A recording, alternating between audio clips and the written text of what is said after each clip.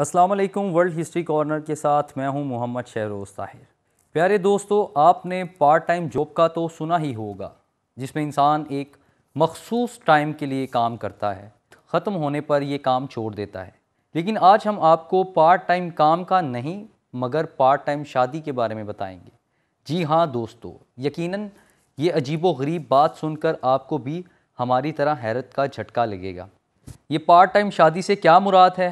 और ये कहाँ की जाती है? अगर आप इन सवालों के जवाब जानना चाहते हैं तो वीडियो को आखिर तक देखें, क्योंकि आज की वीडियो में हम आपको बताएँगे बड़े इस्लामी मुल्क में एक फतवा के बारे में, जिसके मुताबिक वहाँ मौजूद एक मखसूस वक़्त के लिए मुसलमान शादी कर सकते हैं।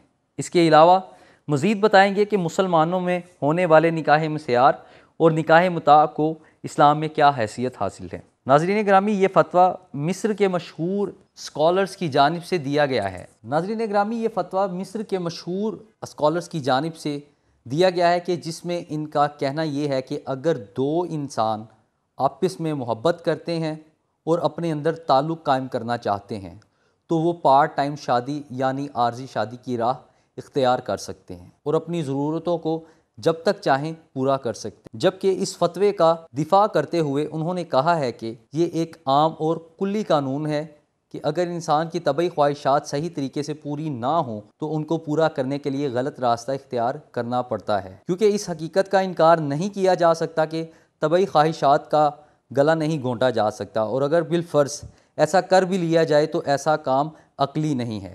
क्योंकि ये काम एक तरह से कानून खलकत से जंग है। लिहाजा जिनसी ख्वाहिश को पूरा करने का सही रास्ता ये है कि इसको माकूल तरीके से पूरा किया जाए और इस अमल से ज़िंदगी को बेहतर बनाया जाए। जामियातुल अज़हर से ताल्लुक़ रखने वाले उलमा मज़ीद कहते हैं, इस बात का भी इनकार नहीं किया जा सकता कि जिनसी ख्वाहिश इंसान की बहुत बड़ी ख्वाहिश होती है। यहाँ तक कि बहुत बड़े माहरीन का भी कहना है कि जिनसी ख्वाहिश ही इंसान की सबसे बड़ी ख्वाहिश होती है। और बाकी दूसरी ख्वाहिशात की बाज गश्त इस तरफ़ ही होती है। लिहाजा इस ख्वाहिश को जायज़ तरह से पूरा करना बहुत मुश्किल होता है। क्योंकि हमारे माशरे में बहुत से ऐसे नौजवान हैं जो माली परेशानी या घरेलू मसले की वजह से शादी नहीं कर पाते। इस मकसद के लिए हमने इस आर्जी शादी की इजाज़त दी ताकि बहुत से लोग मुख्तलिफ़ गुनाहों से बच जाएँ। प्यारे दोस्तों, दूसरी जानब इस मसले को मद्देनज़र रखते हुए मिस्र की दारुल अफ्ताह कौंसल पार्ट टाइम मैरिज को दीन इस्लाम में राइज के नज़रियात के ख़िलाफ़ हराम करार देते हैं दारुल अफ्ताह की जानब से जारी बयान में ये कहा गया है कि हमें शादी के लिए जदीद असलाहत की तरफ़ मतवजा नहीं होना चाहिए और हालिया दिनों के मसाइल को जदीद असलाहत से मनसूब करना नमूद नुमाइश और जिनसी ख्वाहिशात को तरजीह देना है बिल्कुल इस्लामी कवानीन के मुनाफी हैं और इस्लाम की ये सूरत इस चीज़ की कभी भी इजाज़त नहीं देता। दारुलफ्ता कौंसल का कहना है कि कुछ लोग निकाह नामे को नए नाम देकर या मखसूस वक़्त के लिए मुख्त करके जो कुछ भी करते हैं, ऐसी कोशिशों को निकाह बातिल करने का बायस बनती हैं। और कानूनी शादी सिर्फ़ वही और हमेशा कानूनी शादी वही होती है जो मुस्तबिल और तसलसल पर मबनी हो, ना कि कुछ वक़्त तक महदूद हो। बसूरत दीगर ये शादी हराम होगी। दोस्तों, इसके अलावा भी इस अजीबो गरीब फतवे पर जामियातुल अज़हर को शदीद तनकीद का निशाना बनाया जा रहा है और इस फतवे को वापस लेने के लिए ज़ोर दिया जा रहा है। यहाँ ये भी याद रहे कि इससे पहले भी मुसलमानों में चंद मुतनाज़ा निकाह के तरीके पाए जाते हैं, जिनमें निकाह मुता और निकाह मुसियात शामिल हैं। जबकि निकाह मुता वली की मौजूदगी या गैर मौजूदगी में होने वाला एक ऐसा निकाह है जिसकी मुद्दत एक रोज़, चंद रोज़, चंद माह, साल या कई साल तक हो सकती है, जो फ्रीकैन खुद तय करते हैं और इस मुद्दत के अख्ताम पर खुद ब खुद अलीहदगी हो जाती है। या अगर मर्द बाकी मानदा मुद्दत बख्श दे तब भी औरत निकाह से आज़ाद हो जाती है। मगर हर सूरत में इद्दत अपनी शराइ के मुताबिक पूरी करना पड़ती है और औलाद भी इन्हीं वालदेन से मनसूब होती है, जबकि अगर फ्रीकैन चाहें तो मुद्दत मुता को जारी भी रख सकते हैं। ये निकाह इस्लाम में मुतद बार जायज़ हुआ है और इसे रोका गया है। फिर जायज़ हुआ है, लेकिन तारीख़ी एतबार से नबी पाक अलैहि वसल्लम के विसाल से चंद साल कबल तक इस निकाह की मौजूदगी पर सुन्नी और शिया दोनों इतफाक़ रखते हैं। इसका असल में हलाल होना मुस्लिम और मरूदी इतफाक़ी है, मगर अक्सर शिया और सुन्नी और दीगर फ़िरके इसकी हैसियत बाकी रहने या हराम हो जाने के बारे में मुख्तलिफ़ नज़रियात रखते हैं। अहल तशी के मुताबिक मुता हलाल है, क्योंकि ये सल्लल्लाहु अलैहि वसल्लम की वफ़ात तक हलाल था और सहाबा कराम रदी अल्लाह तमा व अजमाइन ये निकाह करते रहे हैं। जैसा कि तारीख में आता है, हज़रत अब्दुल्ला बिन अब्बास, हज़रत मसूद, हज़रत अमरू बिन हरीस, हज़रत सलमा बिन उमैया,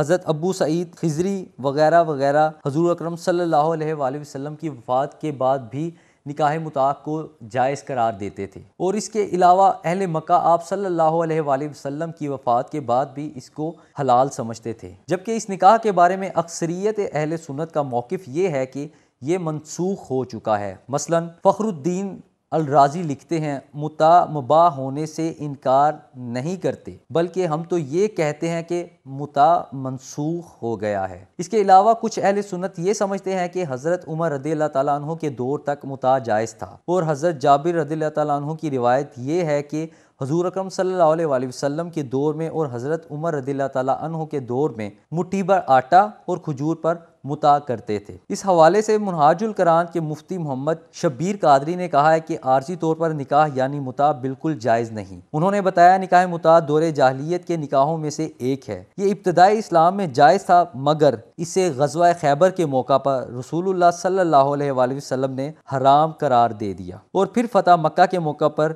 इसमें रुख्सत दी गई, जबकि वहीं पर आप सल्लल्लाहु अलैहि वसल्लम निकाह मुता को क़यामत तक हराम करार दे चुके थे, जिसका सबूत बहुत सी अदीस मुबारक से भी मिलता है। जैसा कि हज़रत रबी बिन सब्र तहों से रिवायत है कि हम हजतुलविदा में नबी करीम सल्लल्लाहु अलैहि वसल्लम के साथ गए, वहाँ चंद लोगों ने अर्ज़ किया, या रसूल अल्लाह सल्लल्लाहु अलैहि वसल्लम। हमें गिराह लगने लगा है। लिहाजा आप सल्लल्लाहु अलैहि वसल्लम ने कुछ औरतों के बारे में फरमाया कि इन औरतों से फ़ायदा हासिल करो। जिसके बाद हम उनके पास चले गए। मगर उन्होंने हमसे निकाह के लिए इनकार कर दिया। मगर वक़्त मुन तक निकाह की ख्वाहिश को ज़ाहिर किया। जब इस बात का नबी पाक सल्लल्लाहु अलैहि वसल्लम से ज़िक्र किया तो आप सल्लल्लाहु अलैहि वसल्लम ने फरमाया, इनसे दिन मुतन करो, सो लिहाजा मैं और मेरे चचा जाद भाई इस औरत के पास गए और मैंने इससे निकाह कर लिया और इसके पास एक रात ठहरा। जब सुबह हुई तो नबी अकरम सल्लल्लाहु अलैहि वसल्लम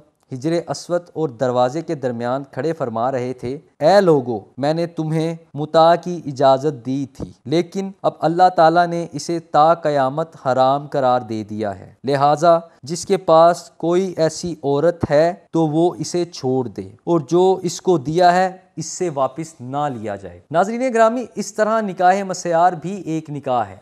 जिसमें काफ़ी इख्तलाफात पाए जाते हैं। और मुसलमानों की अक्सरियत निकाह के इस तरीके कार को भी हराम करार देती है। दरअसल, निकाह मुसैार अहल सुन्नत खसूस अरबों में राइज एक ऐसा निकाह है जो आम निकाह की तरह मुनद होता है, मगर इसमें मर्द औरत बाहमी रजामंदी से अपने कुछ हकूक़ से दस्तबरदार हो जाते हैं। मसलन, औरत की नान नुफ्ता का हक साथ रहने का हक, बाई की रातों का हक, वगैरह वगैरह। आमतौर पर इस निकाह में वक़्त मुकर नहीं होता। मगर देखने में यही आया है कि ज़्यादातर ये कलील मुद्दत में ख़त्म हो जाता है। इसी लिहाज से ये निकाह मुता से शुबाहत रखता है। मगर ये निकाह मुता नहीं है। चूँकि इसके बाद मरवजा शादी नहीं होती, मर्दों औरत अक्सर साथ में नहीं रहते। अपनी जिनसी ज़रूरियात को बवक़्त ज़रूरत हलाल तरीके से पूरा करते हैं, लेकिन इसमें मुद्दत मुतन नहीं की जाती, मगर इसका ख़ात्मा तलाक पर होता है। इन तमाम निकाहों को मद्देनज़र रखते हुए ये कहना बिल्कुल भी मुश्किल नहीं है कि हाल ही में मिस्र में होने वाला फतवा बिल्कुल हराम और इस्लामी उसूलों के मुनाफी है और पार्ट टाइम शादी या आर्जी शादी का